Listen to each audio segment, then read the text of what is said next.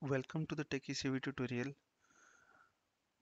Today we will discuss about how to check whether the file exists or not and then if file exists and you need to perform some operations. Now the scenario is as we all know in Pentaho we have time-based scheduling. You assume you scheduled a job at a particular timestamp and then you need to look for that file whether that file has arrived at a server or not at particular location. If file has not arrived then you need to stop the use case. Otherwise you need to resume the use case. Now if you remember in my last video I have explained how to add one field to each row in each file right? So here I have added this code. Adding to this now what we will check? I'll go to this code. This is I'm checking file existence. Now what I'm doing in this I have put a wildcard in this directory. I'm searching a file. If I will not find a row then I have applied this component detect empty stream.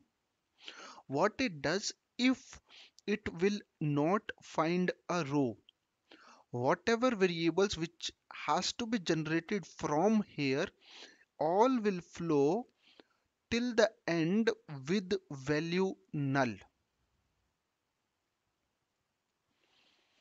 okay. Now I have added sequence CNT right?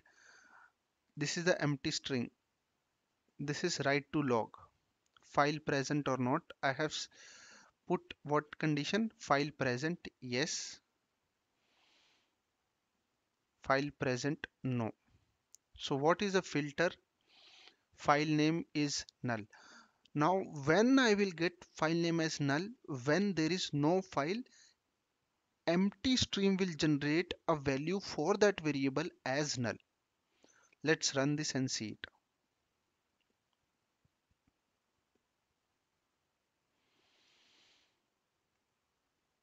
See file present no. Right? It went to if file name is null that means it went here add constant file present. No I have set that variable and then I'm printing write to log. Okay let me add c1 so that you can see that as well. File name right? Let's save this. Let me run this again. If you see file name has come as null right?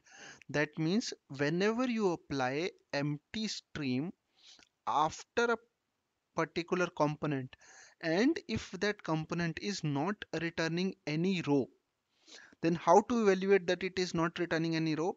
You apply this component empty stream. Once you apply this component it will give you a value as null right? Now I know if a file is present now what I'll do? I'll place a file. I'll take one file. I'll place it here. I'll go to code and I'll run it again. Now see. Right? File name is is not null now right? It is not set. Fine that is fine. Now I'll tell you why the variable is not being set. Now I know this is returning a file which I placed. But as you place this component now it is saying detect empty stream. There is no empty string. So what it does nothing will flow in this code. If you see nothing is being printed as well so this identified file is present. Now what I'm doing after file existence. Now my simple evaluation I'm checking file present is equivalent to no or yes. I cannot put yes because if file is present this stream of data is not giving me anything in case of positive scenario. But if file is not present as soon as I apply this component it says okay file is not present I am putting that value as null. So it is going in no direction. So what I did I place a no here. Now if I run this I know I have one file here. So file present value will not be no. It should go in this direction. So let's run this and see see it went in this direction. And if you have watched my videos I'm just appending an field to each row in each file. As there is only one file which I have placed so it is showing the data for that file only. Now we'll go to another scenario. We'll remove this file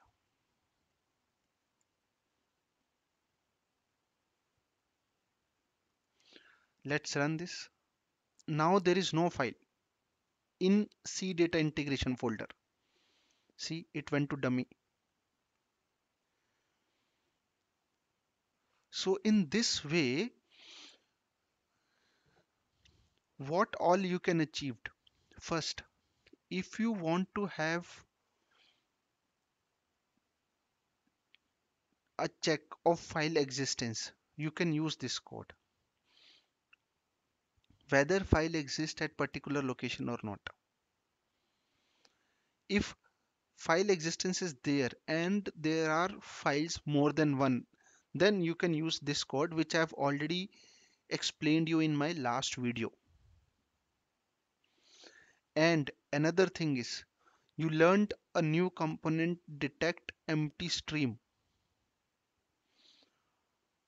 right and a new component which you have learned in job is simple evaluation.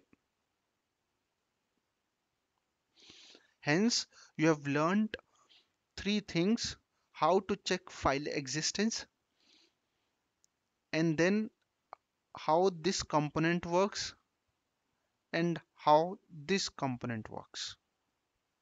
Hope you like this video. If you like it, please share it and subscribe it to my channel. Thank you very much.